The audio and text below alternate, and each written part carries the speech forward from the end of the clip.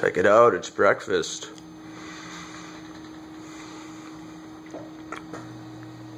I've already eaten most of the English muffin sandwich.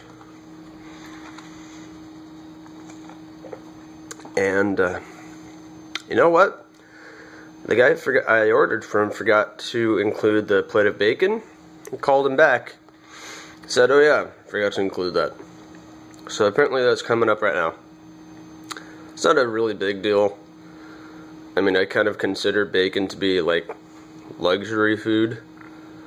You know, like if I just go breakfast without bacon, I'm not gonna make a big deal out of it. Just thought I'd call him back and oh, whatever.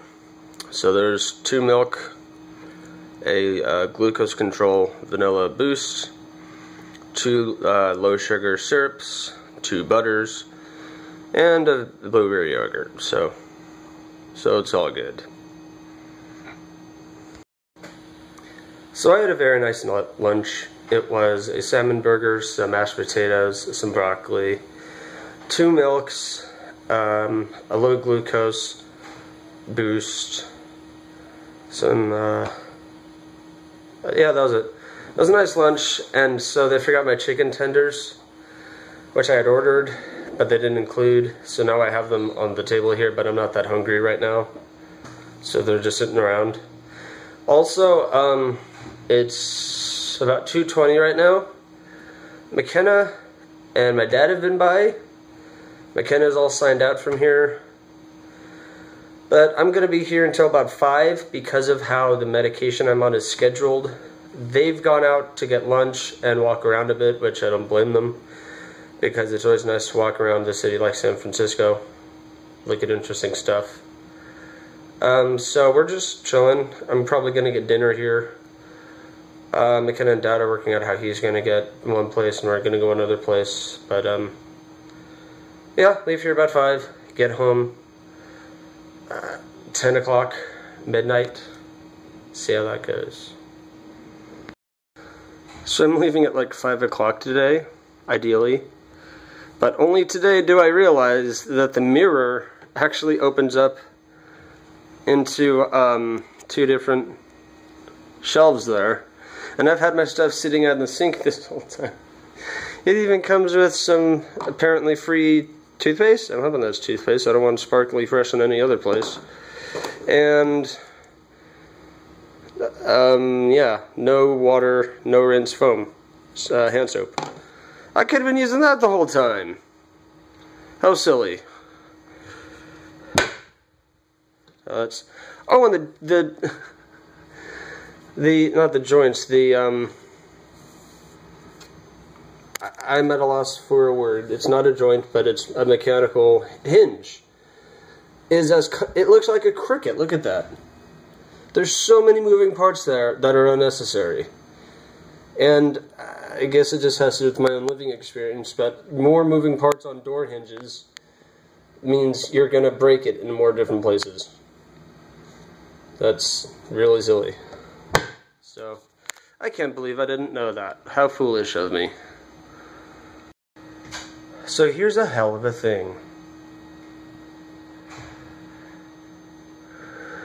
My blood sugar is, the first one she tested said 56.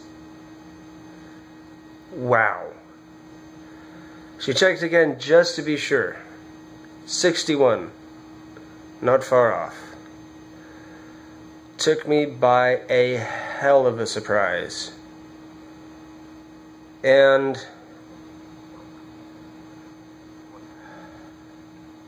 hold on, sorry.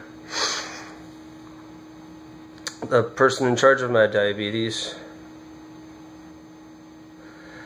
isn't happy that it's going to be below 100 because that was part of I got all this instruction. I don't relay all of it to you because it's a lot of information. But, um, yeah, uh, the goal is to keep it between 150 and 100. And it's below 100, so. Hey, what was your blood sugar? 61. Ew. Yeah. So I got two orange juice, uh, packeted a, a um, cup of jello that I didn't particularly care for. Now I'm having some graham crackers. Might be a little overkill. However, I don't mind that. And I don't think my uh, doctor in charge of my diabetic case is going to put up too much of a fuss over that. Might be a little more than I need, but that's more to err on the side of safety than anything. So it's nobody's fault. We have no idea where it came from. It doesn't feel good, but that it it does make more of a case that I need to get a device that apparently goes on my arm, a continuous glucose meter, just always knows how much this makes a good argument to get a device like that. Certainly to get a pump that, excuse me, that is constantly checking my blood sugars. Certainly uh, makes that more appealing to me. So I will bring that up with my doctor as soon as I can, as soon as I'm in a place where I can negotiate for that. Well, I got all my stuff packed up and packed away. Now I just gotta wait for my ride to get here and I should be done with this place for a while. This is a heck of a view to be leaving behind though.